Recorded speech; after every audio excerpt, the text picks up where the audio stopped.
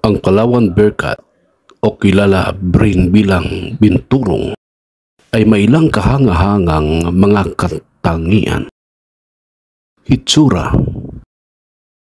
May malambot na fur coat na may kulay team o kayumanggi at may puting marka sa mukha. Sila ay medium to large size at ang kanilang katawan ay maayos at umangkop sa kanilang pangangailangan sa pag-akyat sa mga puno. Ang kanilang buhok ay makapal habang ang kanilang buntot ay kahawig ng buntot ng pusa. Kilala ang mga binturong sa kakaibang amoy na nagmumula sa kanilang glandula na parang popcorn.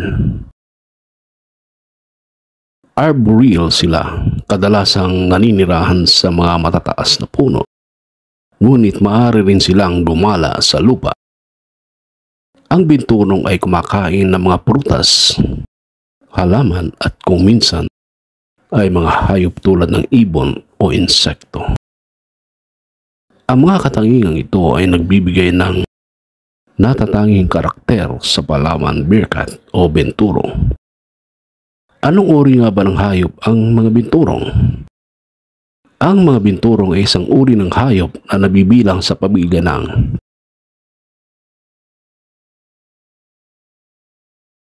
Viveridae. Ang scientific name para sa kanilang genus ay Arctictis. Sila ay may kaugnayan sa civets at iba pang viverids.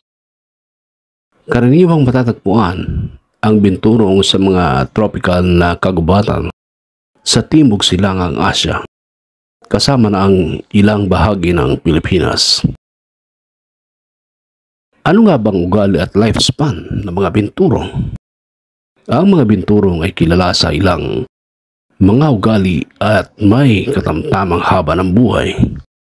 Narito ang ilan sa kanilang mga katangian. Karaniwan silang tahimik na hayop, ngunit maaari rin silang maging aktibo sa gabi. Minsan, masisilayan silang umaakit sa puno para iwasan ang mga tao. Sa kalikasan, maaaring mabuhay ng hanggang 18 hanggang 20 taon Kapag itinatago sa sentro ng wildlife uh, conservation, maaaring mabuhay hanggang 25 na taon. Ang binturong ay isang kakaibang hayop na may kasamang katahimikan at pagiging mahiyain. Ngunit ito ay nagbibigay sa kanila ng sariling charm.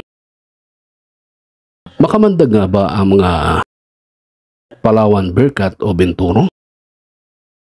Hindi makamandag ang mga binturong o Palawan Bearcat. Kadalasang tahimik at mapayapa ang mga ito at hindi sila tinuturing na mapanganib sa tao. Ngunit, tulad ng lahat ng mga hayop na nasa kalikasan, maaaring magkaroon ng mga pangkalahatang panganib ang pagkikipag-ugnayan sa kanila, lalo kung sila ay naiistorbo o kinakalabit. Mahalaga pa rin na tratuhin sila ng may paggana at pag-iingat at mas mabuting manatiling maingat kapag malapit sa kanila. Gaano ga ba kalaki ang mga binturong o Palawan bearcat? Kasali ba sila sa list ng endangered species? Ang mga binturong o Palawan bearcat ay may katamtamang laki at ang kanilang mga sukat ay maaaring mag-iba depende sa kasarian. Ang mga lalaking benturong ay karaniwang mas malaki kaysa sa mga babaeng benturong. Ang kanilang haba mula ulo hanggang buntot ay maaaring umabot ng mga 2.5 hanggang 3.3 talampakan at ang timbang ay maaaring magtaglay ng mga 22 hanggang 35 pound. Tungkol sa kanilang kalagayan sa endangered species list, ang mga binturong ay hindi mapanganganib o endangered base sa kasalukuyang impormasyon, ngunit tulad ng maraming ibang hayop, maaaring maapektuhan ang kanilang populasyon ng mga pagbabago sa kanilang natural na kapaligiran. Deforestation at iba pang mga banta sa kalikasan.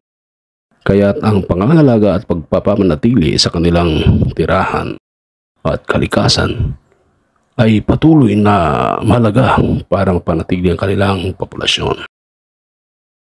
Sa Pilipinas lang ba matatagpuan ang binturong? Hindi lamang sa Pilipinas, matatagpuan ang binturong. Ang binturong ay may lawak. Nasakop sa ilalim ng pangalan ng Asian Beer Cat o Palawang Beer Cat at makikita rin ito sa iba't ibang bahagi ng Timog Silangang Asya. Bukod sa Pilipinas, matatagpuan rin sila sa mga bansa tulad ng Malaysia, Indonesia, Thailand, Vietnam at iba pa. Sa Pilipinas, ang binturong ay partikular na matatagpuan sa Palawan at iba't ibang bahagi ng bansa. Gayunpaman, ang kanilang saklaw ay hindi limitado sa isang partikular na buo at maaari rin silang mapanatili sa iba't ibang habitats sa Timog Silangang Asya. Paano nakakatulong sa kalikasan ang mga binturong? Ang mga binturong ay maaaring magkaroon ng mga positibong epekto sa kalikasan sa pamamagitan ng iba't ibang paraan. Ang kanilang pag-akyat sa mga puno at paglipat sa iba't ibang lugar ay maaaring makatulong sa pag-disperse ng mga butol ng prutas na nagbibigay daan para sa pagtubo ng iba't ibang halaman at puno sa iba't ibang lugar.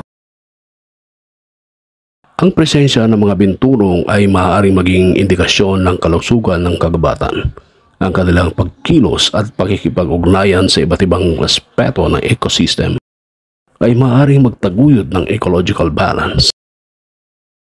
Ang binturong bilang isang species ay nagbibigay ng biodiversity sa mga kabugubatan kung saan sila naninirahan. Ang pagkakaroon ng iba't ibang species ay nagpapalakas sa likas ng balanse.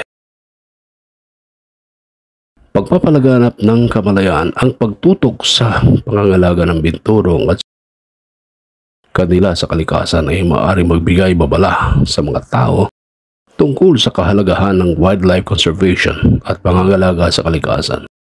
Ang pag-aaral, pangangalaga at pagpapahalaga sa mga binturong at iba pang hayop ay mahalaga para panatili ang ecological integrity ng kanilang mga tirahan at makatulong sa pangangalaga ng kalikasan.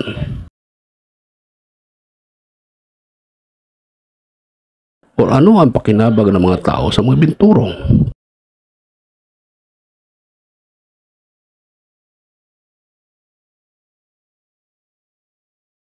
Maaring magdulot ng ilang pakinabang ang mga tao sa mga binturo. Ang mga binturong bilang isa sa mga katangi-tanging hayop na matatagpuan sa ilang rehiyon ay maaaring maging atraksyon para sa turismo. Ang pagakyat at paglipad ng binturo sa mga puno ay maaaring maging paborito ng mga nature enthusiasts. Sa ilang komunidad, maaaring maging bahagi ng lokal na kultura ang mga binturong at maaaring maging uh, inspirasyon sa mga kwento, alamat o sining ang pag-aaral sa mga binturong at sa kanilang behavior ay may maaaring magkaroon ng mga impormasyon na makakatulong sa pangangalaga at pangunawa sa kalikasan. Ang pagunlad sa scientific knowledge at maaaring magkaroon ng mga pag-ambag pang matagalang pangangalaga sa kalikasan. Ito ay mahalaga na ang pakinabang na ito ay hindi nararapat sa pagmamalupit o hindi sapat na pangangalaga sa mga hayop at kanilang kalikasan. Ang sustainable na pangangasiwa at pangangalaga ay mahalaga upang mapanatili ang ecological balance at makabigay ng pagmatagalang benepisyo sa mga tao at sa kalikasan. Marami pong salamat sa panonood na way nagatid ng kalaman ng video na ito sa inyong lahat na aming mga masugid na taga-subaybay.